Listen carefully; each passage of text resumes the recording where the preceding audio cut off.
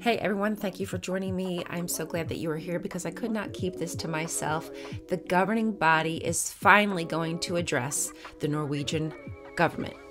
If you have not heard, recently the Norwegian government decided to revoke the Jehovah's Witness tax exemption, which meant they lost last year in 2021 over $1 million. I think it was almost like $1.5 million. And now Norway has just given the Jehovah's Witness a short amount of time to address their shunning policies, saying that if they do not stop the policy of shunning, which they believe to be child abuse, they are also going to revoke their religious status. Yes, the Jehovah's Witnesses will lose their status as a religious organization in Norway. Whoa.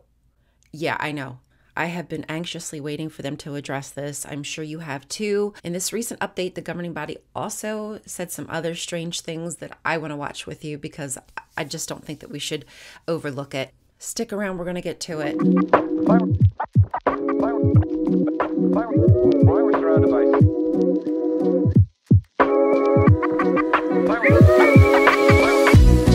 Okay, welcome back. Before we get into the governing body addressing the Norwegian government, first, I want to let Anthony Morris talk about why they need some 16,000 new kingdom halls to be built and many others to be repaired. It just never ends. Oh, here we go. It's also encouraging to hear that the local design construction work is moving ahead. Where there are no government restrictions, Kingdom Hall construction groups have restarted. What theocratic construction is on the horizon? We now need over 15,700 new Kingdom Halls and major renovations around the world. We need these Kingdom Halls for our in person meetings. To be Okay, first off, you just went two years proving that you actually, in fact, did not need in person Kingdom Halls, and it was sufficient just to meet online with your little webcams and meet up in little groups just to encourage each other and meeting up for field service or whatever it is you do. But now there's this desperate need for more Kingdom Halls. The only reason there's a need is because you're saying there is. And then, like you have done in the past, you will start selling Kingdom Halls. You just sold, I don't know how many, I'll probably have to put that on the screen. And now you want to build new Kingdom Halls. This is extortion. This is how they extort money from people and their time and their tools and their efforts and their talents. Okay. Rant over. Begin addressing these needs. Over 1,600 projects worldwide are planned for this year alone. And branches are also working hard to prepare facilities for in person circuit assemblies and theocratic schools starting in January 2023. Oh, great. More theocratic schools because it's exactly what we need is more people who really do not know how to understand their Bible because they're getting fed all of this empty spiritual food with zero calories, no fat, no protein, no vitamins. There's this spiritual food is devoid of any nutrition. And they think they're going to be the most biblically literate people. And I have to tell you, you absolutely will not be. The best way to be biblically literate is to read your Bible on your own.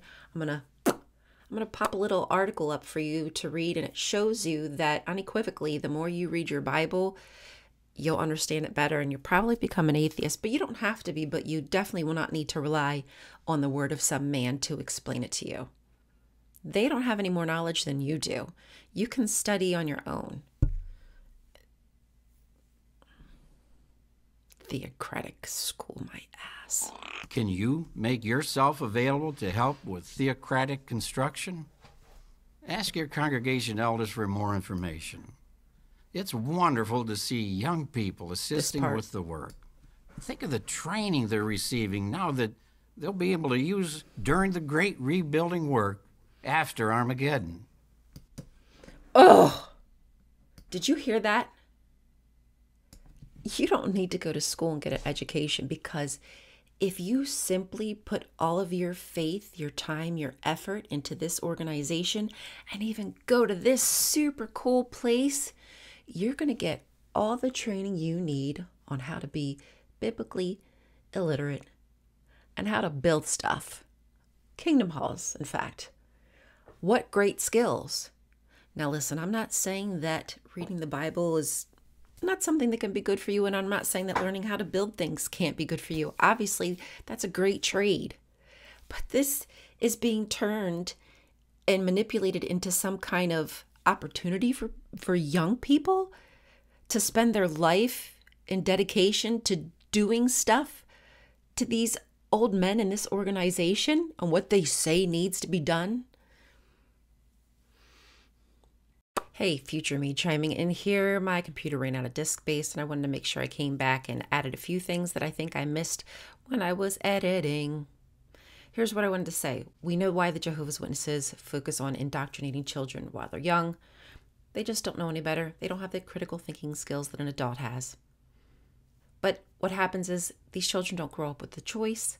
So these are the choices that they have.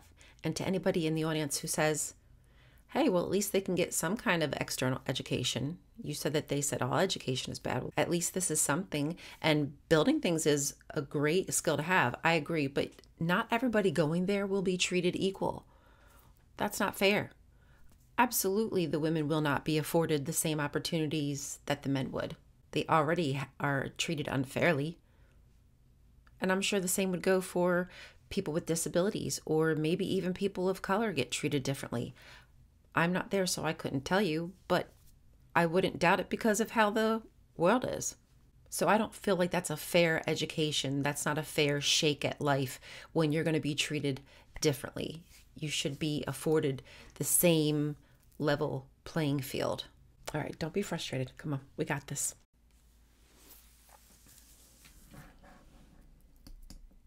Yeah, I just ran. I don't really have anywhere to go with that. I hope you understand. Like when you come to this channel, I'm just gonna.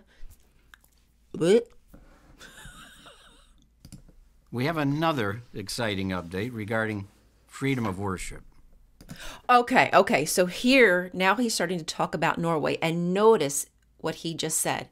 We have another exciting update regarding freedom of worship. We have another exciting update regarding freedom of worship. Let's talk about body language and how his face is not emoting excitement. He looks quite sour.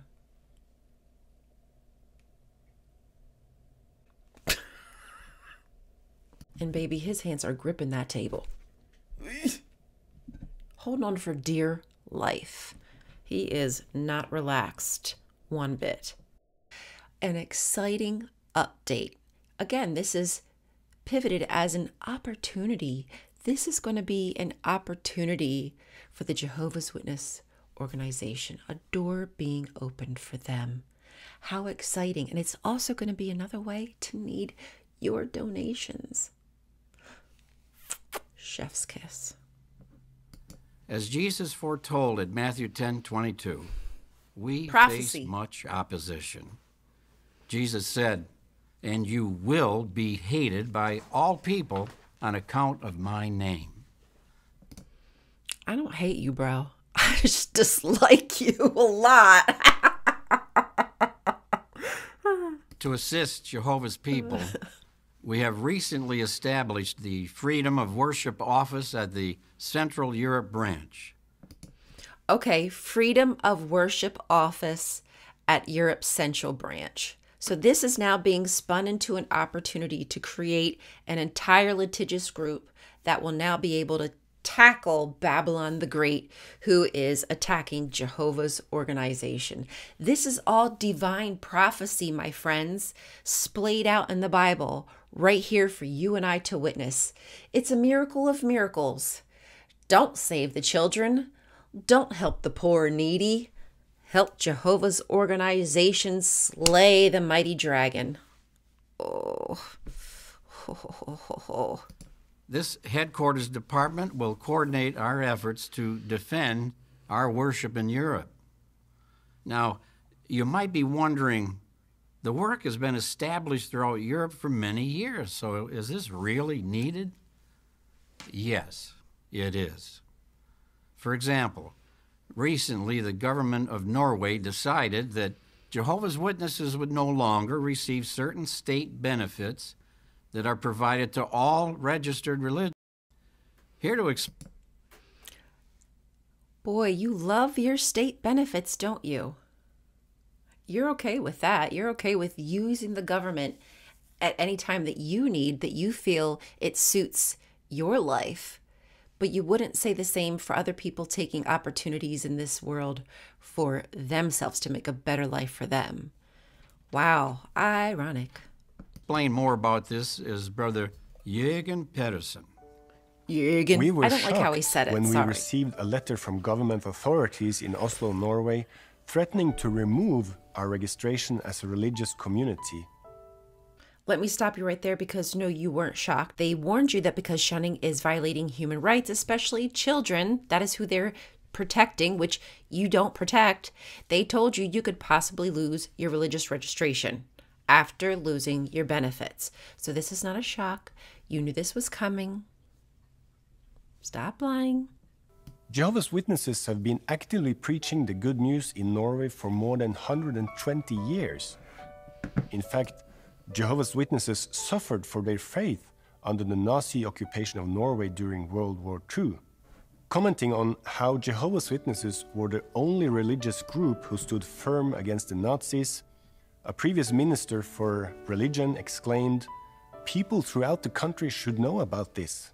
Especially young ones would benefit from this information. We've always been known as good citizens. In fact, a public report stated that Jehovah's Witnesses are careful to obey the laws of the land. And that's exactly it.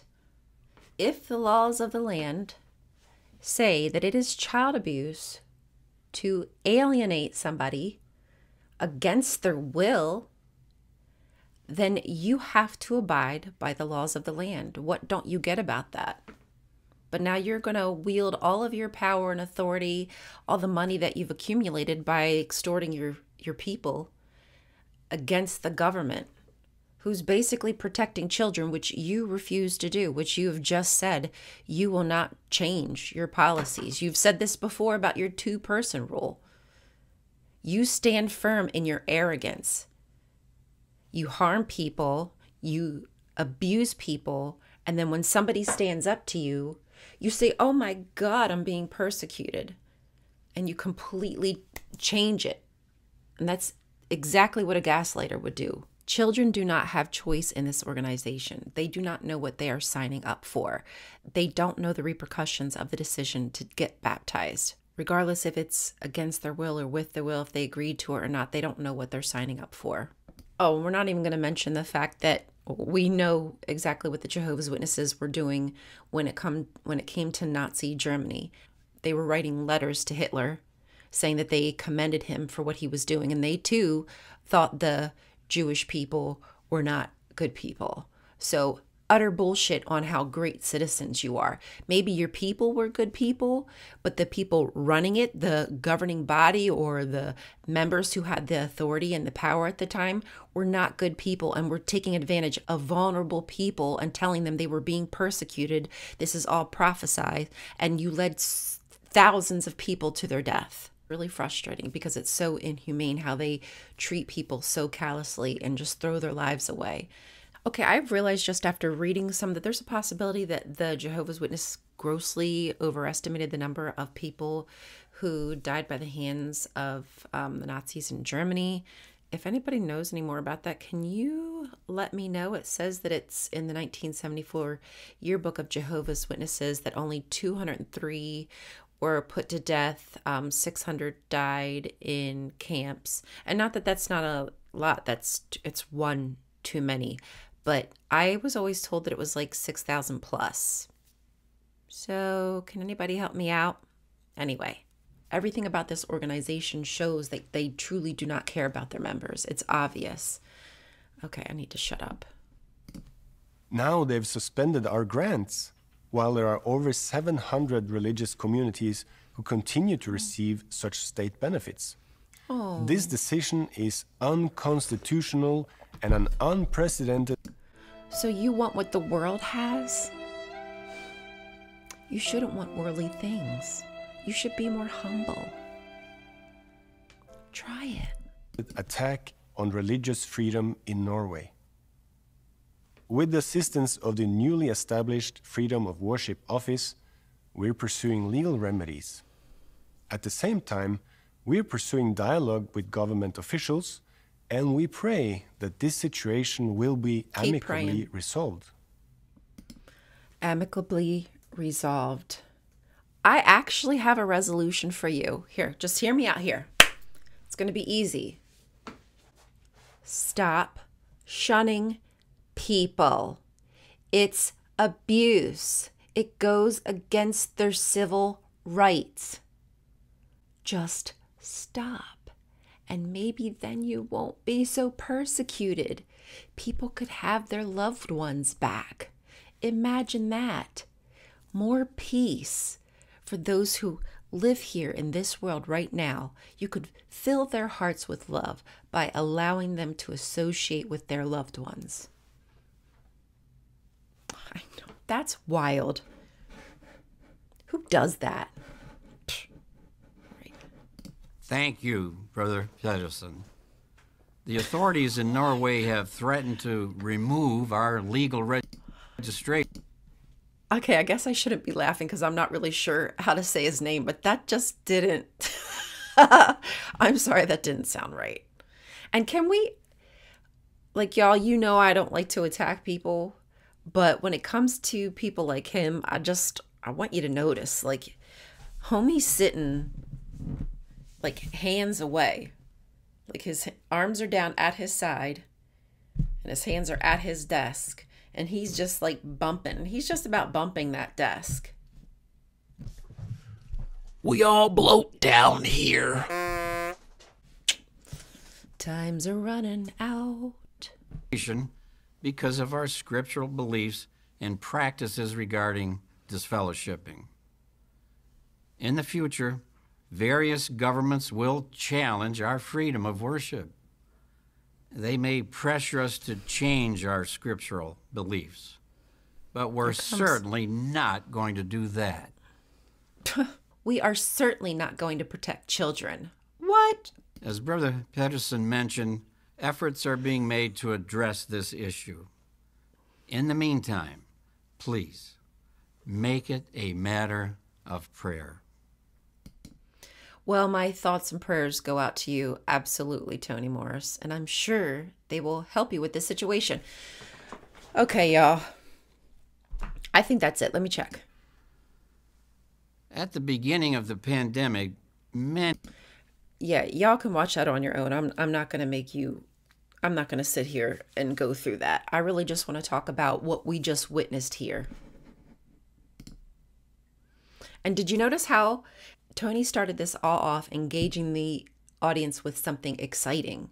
We have a great opportunity, and the opportunity is for a legal group that they have just formed to help them fight for their freedom to shun people. Let's just lay it out on the line. Let's get down to brass tacks. That's exactly what it is. They want to be able to continue to abuse and separate families, and Norway isn't having any of it. And my hats off to frickin' Norway. I respect you so much. That is what I hope someday our government could be like and actually care about children and protect people's rights. I love that the Norwegian parliament is often speaking out about injustices around the world. They spoke out recently about Roe v. Wade being overturned here in America, and they're also addressing what's happening in Iran with the illegitimate Islamic regime taking over and killing people and um, and also taking them to prison and essaying them. So I commend them, and I hope that maybe one day more governments can be exactly like them. Here's hoping. We weren't given our rights in this country. Women weren't given their rights in this country, and children basically don't even have rights for the most part. They're just property of their parents. And we had to fight for our rights to be able to vote. People of color had to fight for their rights to get freedom, to get their right to vote. It wasn't handed over to them. Power isn't just handed over to people. You have to fight for it. And you want to silence people. You won't allow people to fight for their freedoms and for their rights. But yet here you are wielding your power as you do, manipulating people into believing that somehow this whole situation is prophesied in the Bible and you are the victim. You're being persecuted, a sign of the times, and now you need people's money and you need people's help and you need people's thoughts and prayers. And this is all on you. You have created this entire mess because of your decisions. But you will not be held accountable, but you will hold other people accountable for their mistakes by disfellowshipping them. If you ask me, y'all need to be disfellowshipped. I think the organization should say, we need to disfellowship the governing body. Okay, I know that's just like a fever dream. Mm-hmm. But this is so asinine and ridiculous and ironic that you have the gall to speak like this to your members. And I just hope that they are critically thinking about this. I hope that they are asking themselves questions. I hope that little by little this starts to chip away at the shell, at the glasses that they have over their eyes, these rose colored glasses that just sees the organization as this shining perfect example, just like Jesus. They're infallible men, just like you and I. They're no different, no better, not better at interpreting anything. You and I can interpret the Bible just as well as they can. You don't need them. They're snake oil salesmen. And they're flipping this entire situation to make it look like they're the ones being harmed. And this is just a brand new way of God opening a door for you and for them to realize that they are the chosen organization. It's obvious. Oh my God. They just foreshadow it and then they play into it. It's a narcissistic dream. I, I can't with this. How, how do y'all feel? How are you sitting with this? Because I'm just kind of sick and beside myself. I'm trying to process. I mean, I figured as much. I, I figured this is exactly what they were going to do. I thought they were going to paint themselves as the victim, and here they did. Um, my friends and I talked about this on the Apostate Coalition channel. You should go check that out. Wally, um, JW Thoughts, Jonathan, Ex Witness Awake, Ray, I think it's Ray Janae on TikTok. But anyway, we all talked about this situation and what we thought was going to come from it. And I'm kind of waiting to see what they have to say. I want to talk to them and see if they're shocked or if they felt this is exactly what was going to happen. Uh, do I have anything else to say? Let me think. Was there anything else? Oh, that's right. I got to get those articles and put them up there. I have two articles I said I need to get. I need to figure out how many Kingdom Halls were sold. Like how are like how are you build asking for money? You need to build more Kingdom Halls, yet you're selling Kingdom Halls. Like the math is not adding up. It's not mathable. Doesn't it doesn't click. They need a better calculator. Um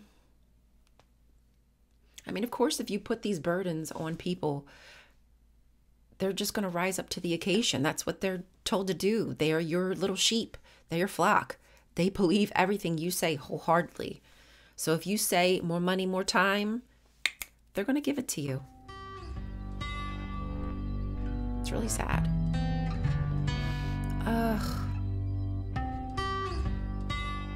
Oh, what else? Oh, you know what? I also figured I should address what's going on in Spain. I promise you that every single day I am hitting Google Spain, victims of abuse, Jehovah's Witness, sue, court. Like I am Googling everything trying to get an update, but as of yet, there's nothing. The last thing that I heard was from somebody, I believe, who lives in Spain and said that this court case could be going on to mid December. So. It, it's just a matter of time. It could be another week or two. I'm not sure, but I promise you every day, every day I'm Googling.